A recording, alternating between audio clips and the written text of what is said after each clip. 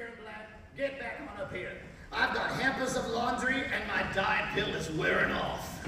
But Mama, I want to be famous. You want to be famous?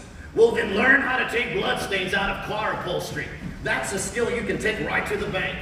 You think I wanted to spend my whole life washing and ironing other people's clothing? No, I wanted to design them.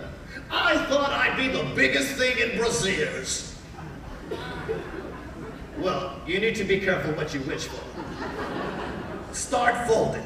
But all I was doing was watching Corny Collins over at Tracy's.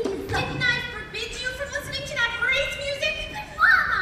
Oh, if the police ever find your father, he'll punish you good. Your dancing was atrocious today, Amber. I'm willing to lie, cheat, and steal to win you that Miss Hairspray crown. But you've got to work with me. Now, let me if that's it. Stop! That's not how you treat clean clothes. One day you will own Edna's Occidental Laundry. Will you be ready? I hope not. Don't contradict me. Don't disobey me. Don't even think about going to that audition. Please! No. No. Mother!